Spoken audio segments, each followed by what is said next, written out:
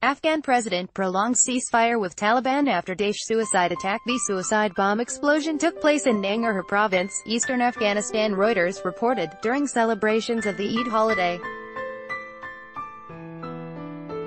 At least 26 people were killed, both Taliban militants and civilians.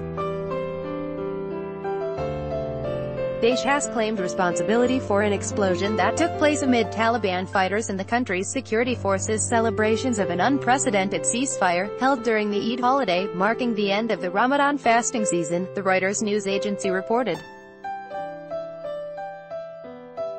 Prior to that, Afghan President Ashraf Ghani said on Saturday that the country's government and the Taliban militant group had agreed to prolong the ceasefire regime, Tolo news broadcaster reported without specifying how long the truce will last. The Afghanistan president's office stated that some 46 Taliban prisoners have been freed during the cessation of hostilities. Read more, the president hasn't commented on the car bomb accident yet. Later, the agency specified, citing Ataullah Khogiani, spokesman for the provincial governor of Nangarhar, that the blast was caused by a bomb, allegedly planted in one of Taliban militants' car.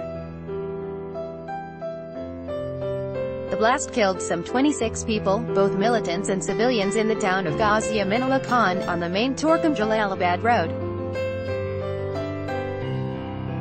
The Taliban stated, as quoted by the agency, they were not responsible for the blast.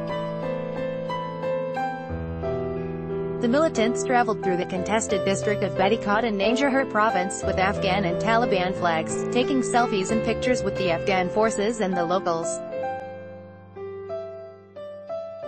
Previously it was reported that the head of the Ministry of Internal Affairs of Afghanistan, Wais Ahmad Barmak, met with several members of the Taliban movement in Kabul on Saturday amid the established ceasefire. Read more. On June 7, Ghani announced a temporary unilateral ceasefire with the Taliban for the period between June 11 and June 19 to mark the end of the Islamic holy month of Ramadan. Later in June, Taliban decided to join the Declared Truth